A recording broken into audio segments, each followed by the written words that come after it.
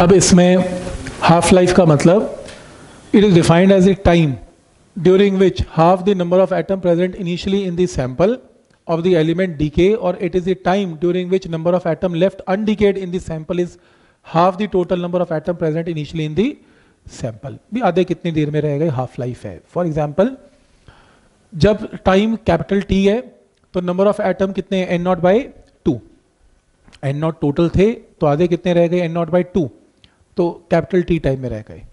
अब एन का फॉर्मूला क्या होता था? N naught e raise to power minus lambda T तो एक चीज़ नोट करो स्मॉल टी की वैल्यू स्मॉल टी की वैल्यू जब कैपिटल टी है हाफ़ लाइफ तो नंबर ऑफ़ एटम लेफ़्ट कितने N naught by two N naught से N naught cancel half maths का रूल है, अगर इसको रेसिप्रोकल लेंगे, इसको रेसिप्रोकल लेंगे तो ये प्लस हो जाएगा। तो क्रॉस मल्टीप्लाई कर लो। तो taking log of both sides log to the base e log to the base e maths का एक और रूल है मेडिकल लोग समझेंगे कि जो भी इसकी पावर है लॉग के बाहर आ जाती है तो लैमडा इंटू टी बाहर आ जाएगा। और आपके पास क्या टर्म आएगी? लैमडा टी बाहर आ गया log e to the base e और राइट साइड पे लॉग टू लॉग टू का बेस ई चल रहा है। हम बेस फिजिक्स में टेन लेके चलते हैं। तो रूल क्या था? थर्मो में भी किया करते थे कि इसको मल्टीप्लाई कर दो by two point three zero three से, या two point three zero two से। तो टू दी बेस टेन हो गया। यहाँ से log e to the base e maths का रूल है वन होता है। नंबर और बेस सेम हो तो आंसर वन होता है। वन हो गया। मल्टीप्लाई करोगे इनको और लॉग टू की वैल्यू मैथ्स में zero point three zero one zero होती है, याद रखनी है। इन्हें मल्टीप्लाई करोगे तो zero point six nine three one answer आएगा। तो यहाँ से हाफ़ लाइफ की वैल्यू क्या आएगी? Point six nine three one divided by lambda box में डाल लो इंपॉर्टेंट है। और ये प्रूफ भी आता है। डाल रखे बॉक्स में? ठीक है। ठीक है यहाँ तक अब नेक्स्ट एक और इंपॉर्टेंट रिज़ल्ट है। इस इंपॉर्टेंट रिज़ल्ट को एक बार देखेंगे। अगर सपोज़ करो at time t is equal to capital T first half life number of atom left कितने हैं? एन नॉट बाई टू तो क्या मैं इसे ऐसे लिखूं? N naught into half raise to power one एक ही बात है। अगर दो हाफ़ लाइफ हो जाते हैं तो नंबर ऑफ़ एटम इसका हाफ़ कितना? एन नॉट बाई फोर यानी कि N naught half raise to power कितना? टू अगर तीन हाफ़ लाइफ हो जाते हैं तो number of atom will be equal to N naught divided by eight यानी कि N naught half raise to power कितना? थ्री और ऐसे करते करते अगर एनथ हाफ़ लाइफ हो जाता है तो नंबर ऑफ़ सीधा formula N naught half raise to power कितना?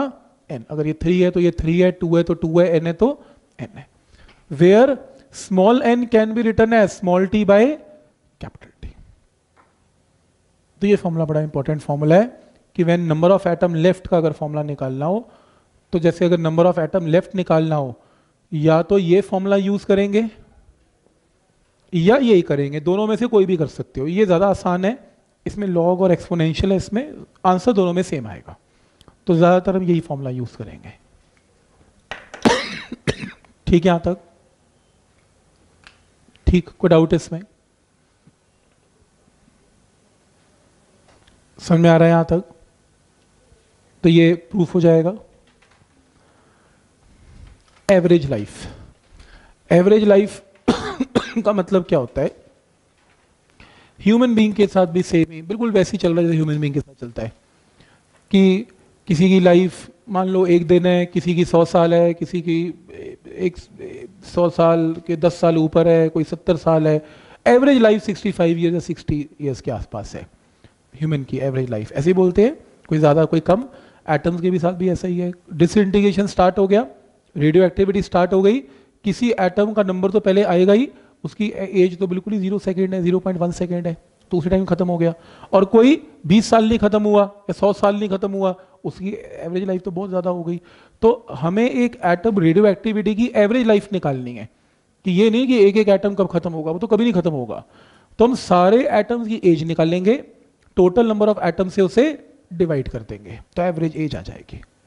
तो एवरेज एज को एक्सप्लेन करने के लिए there are atoms which disintegrate right in the beginning their lifetime is zero शुरू में खत्म हो गए lifetime zero there are other atoms which would disintegrate at the at तो एवरेज जो उनकी लाइफ है वो क्या हो जाएगी? इन्फिनिटी तो एटम की जो लाइफ है ranges from zero to infinity हमें क्या निकालना है?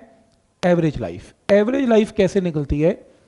एवरेज लाइफ का फॉर्मूला कैसे बनेगा, इसको एक बार देखते हैं. एवरेज लाइफ के लिए सबसे पहले सपोज़ करो, यहाँ से स्टार्ट करते हैं. At time t is equal to zero number of atom कितने थे? N naught at time t seconds t second number of atom कितने हैं? एन एन बच गए। ये एन क्या है? नंबर ऑफ़ एटम्स लेफ़्ट अब जैसी time t plus d t हुआ, जरा सा टाइम आगे बढ़ा, कोई तो एटम टूटा होगा। मान लो कितने एटम टूट गए? डीएन एटम टूट गए। इन डीएन एटम की लाइफ ये टी टाइम तो जी चुके, क्योंकि तब तक तो ये टूटे नहीं थे।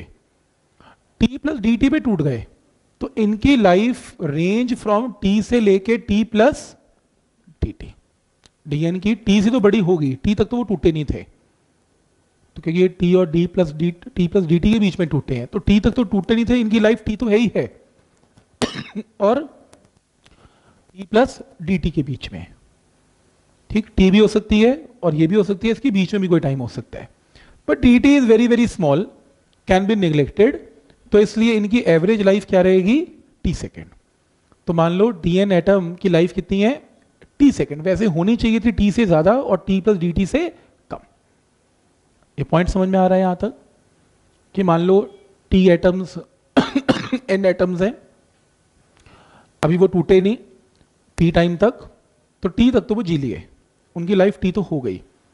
आगे जो की लाइफ होगी, मान लो डीएन एटम डीटी पे टूट जाते हैं अगले तो टी और टी प्लस डीटी के बीच में उनकी लाइफ होगी। तो उन सभी, उन छोटे एटम्स की जो टोटल लाइफ होगी, हम क्या करना चाहते हैं? हम सभी सैंपल्स की लाइफ निकालना चाहते हैं। तो मैंने डीएन एटम लिए, उनकी लाइफ मैंने एवरेज टी ली तो टोटल हम क्या बोल सकते हैं? टोटल लाइफ टाइम उनका जो टोटल टाइम है डीएन एटम का टी टाइम तक मतलब एक एटम है तो टी टाइम है, दो एटम है तो टी टाइम है, तीन है तो टी टाइम है, कुछ इस तरीके से। तो टोटल लाइफ अगर सभी एटम की निकालनी है तो इसको इंटीग्रेट करना पड़ेगा ज़ीरो से लेके एन नॉट तक। इंटीग्रेशन से कर सकते हैं d N d N d N तो टी तो चेंज होता जा रहा है। तो यहाँ पर इनको अगर मल्टीप्लाई करेंगे तो ये टोटल लाइफ आ जाएगी डीएन टाइम डीएन एटम की। पर हमने तो सभी एटम्स की निकालनी है तो ज़ीरो से लेके एन नॉट तक इसको इंटीग्रेट कर दो। ये टोटल लाइफ आ गई। टोटल लाइफ को किससे डिवाइड करना है? नंबर ऑफ़ एटम से। क्योंकि number of atom number of atom से डिवाइड करोगे, तभी तो टाइम बचेगा। तो ये टोटल जो लाइफ आई, इस टोटल लाइफ को नंबर ऑफ़ एटम से डिवाइड करेंगे तो टाउ आएगा, जिसको बोलते हैं average life time of atoms तो ये फॉर्मूला सबको समझ में आ गया, कैसे बनेगा? तो रिपीट कर रहा हूँ। पहले स्मॉल एटम डीएन लिए डीएन की लाइफ कितनी है? टी है। ये तो स्मॉल एटम की लाइफ आ गई। हमने तो सारे एटम्स की निकाल ली है। हमने इन्हें इंटीग्रेट कर दिया। टोटल लाइफ को टोटल नंबर ऑफ़ एटम से डिवाइड किया। एवरेज लाइफ आ गई। इसमें बस थोड़ी सी और मॉडिफिकेशन है। मॉडिफिकेशन के अंदर हमने लॉ किया था अभी। D N by d t is minus lambda into N radioactivity का जो लॉ इंपॉर्टेंट लॉ मैंने बताया था, यही लॉ था। Rate of disintegration is equal to minus lambda into N यहाँ से N is equal to minus lambda into N into कितना? टी तो चेक करो एन की वैल्यू आ गई क्रॉस मल्टीप्लाई करके। एन आ गया। लेकिन साथ में मैंने बताया था एन की वैल्यू क्या होती है? N naught e to power minus lambda t तो एन की वैल्यू ये आ गई। इस पूरे एन को उठा के यहाँ पुट कर दो। तो आपके पास ये टर्म आ गई। एन नॉट से एन नॉट क्या हो जाएगा? कैंसल लेकिन एक और इंपॉर्टेंट पॉइंट है जो मैथ्स वाले लोग जल्दी समझेंगे। कि इसमें इंटीग्रेशन एन की चल रही थी। तो लिमिट भी एन की है। लेकिन जब आपने इसको डीएन को रिप्लेस किया तो आपकी इंटीग्रेशन अब डी में आ गई। तो लिमिट भी अब टाइम की लगेगी। टाइम की लिमिट कैसे चेंज करनी है? जब नंबर ऑफ़ एटम ज़ीरो थे ज़ीरो वो तो कभी ज़ीरो नहीं होंगे टूटते हुए तो टाइम कितना था? इंफिनिटी और जब number of atom N naught थे एक्सपेरिमेंट स्टार्ट हुआ तो टाइम कितना था? ज़ीरो तो number of atom zero t time zero पे होंगे और ज़ीरो इन्फिनिटी पे होंगे। एन नॉट से एन नॉट कैंसल तो आपके पास सिंप्लीफाई करके ये टर्म आ जाएगी। अब मेडिकल वाले लोग इसके आगे नहीं समझ पाएँगे, क्योंकि इसमें मैथ्स की इंटीग्रेशन बाय पार्ट्स यूज़ हो रही है। मैथ्स वाले लोग इसको कर सकते हैं। मेडिकल वाले लोग सीधा लिखेंगे ऑन इंटीग्रेटिंग दिस टर्म सीधा। On integrating this term we get one by lambda सीधा शॉर्टकट कि यहाँ से एवरेज लाइफ क्या आएगा? वन बाय लैमडा सॉल्व करने पे। और लैमडा किसके इक्वल था? Point six nine three one by time half life period तो यहाँ से लैमडा को उठा के यहाँ पुट करोगे तो ये टर्म आएगी। और one by point six nine three one को लिखेंगे वन पॉइंट फोर फोर तो ये फॉर्मूला आ गया। एवरेज लाइफ ऑफ़ जो एटम होता है one point four four times half life के इक्वल होता है। ये टॉपिक बहुत कम चांस है आने का। लास्ट से लास्ट दो साल पहले अगर आप पेपर देखोगे सीबीएसई वालों ने ये क्वेश्चन डाल दिया था। तो आप ये नहीं कह सकते कि आ नहीं सकता, आपको आना चाहिए। तो इंटीग्रेशन की प्रॉब्लम है, मैंने बता दिया, सीधा फॉर्मूला लिख देना आंसर आ जाएगा। ठीक है, यहाँ तक।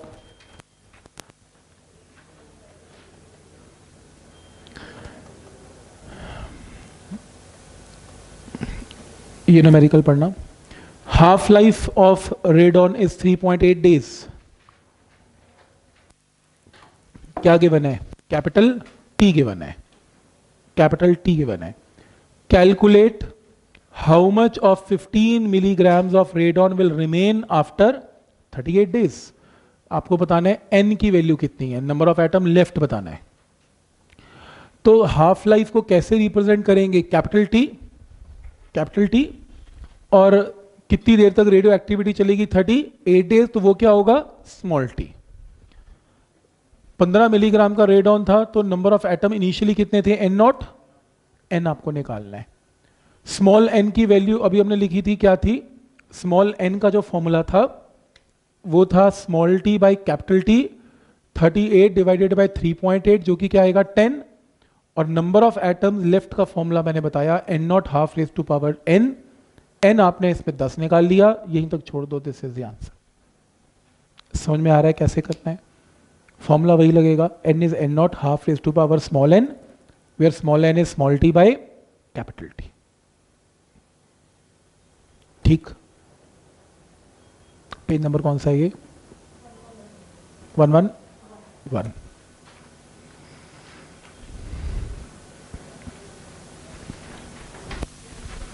ठीक है यहाँ तक। कोई डाउट इसमें। नेक्स्ट है there are ten is two power six radioactive nuclei बोलो, क्या गिवन है? N naught number of atom initially its half life is क्या गिवन है? कैपिटल टी स्मॉल टी नहीं कैपिटल टी हाफ़ लाइफ है. How many nuclei will remain after ten second तो radio active कितनी देर में चल रही है? 10 सेकेंड तो क्या गिवन है? स्मॉल टी ठीक? तो रूल वही रहेगा. एन नॉट पता है कैपिटल टी पता है स्मॉल टी पता है स्मॉल एन निकल जाएगा।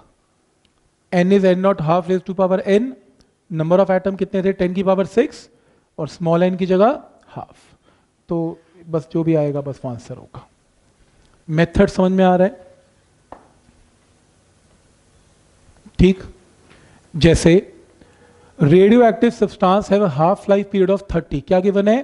Capital T calculate time taken for three fourth of the original number of atom disintegrate ये तो खर्चे गए, टूट गए। बचे कितने? One fourth three fourth disintegrate हो गए तो बचे कितने? वन फोर्थ तो एन की वैल्यू यहाँ पर वन फोर्थ यानी कि एन नॉट बाई फोर ठीक? आपको क्या निकालना है इसमें? टाइम टेकन तो ए पार्ट में इसमें क्या होगा? ए पार्ट में स्मॉल कैपिटल टी गिवन है। स्मॉल टी की वैल्यू निकालनी है। कितने डिसइंटीग्रेट हो गए? Three fourth of N naught तो बचे कितने N N naught by four small n क्या होता है? Small t by capital T small t तो निकालना है। सेम फॉर्मूला एन नॉट की वैल्यू एन नॉट है। बचे कितने? एन नॉट बाई फोर तो कैलकुलेशन में N naught by four is equal to N naught half raise to power t by thirty तो यहाँ से आपके पास क्या वैल्यू आएगी? ये कैंसिल हो गया।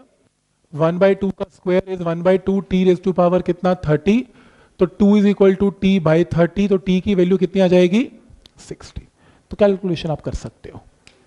क्या आपको रेडियो एक्टिविटी समझ में आई कि कैसे इस क्वेश्चन को करना है? कोई डाउट इसमें? न्यूट्रॉन, क्वेश्चन क्लियर है?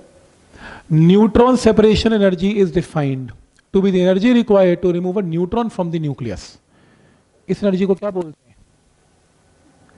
बाइंडिंग एनर्जी एक न्यूक्लियस में से न्यूक्लियस न्यूट्रॉन को निकालने का मतलब energy required is binding energy obtain neutron separation energy बोल नहीं बाइंडिंग एनर्जी निकालनी है, पर इसका मतलब क्या है? Find binding energy neutron separation energy का मतलब बाइंडिंग एनर्जी किसकी? कैल्शियम 41 की फ्रॉम द फॉलोइंग डेटा अब ये इक्वेशन देखते ही पता लग रहा है कि न्यूट्रॉन निकालने कैल्शियम 41 में से एक न्यूट्रॉन निकलेगा तो कैल्शियम 40 बनेगा। तो इसकी इक्वेशन अगर बनाई जाए तो इसकी इक्वेशन बनेगी calcium 41 calcium 40 plus neutron.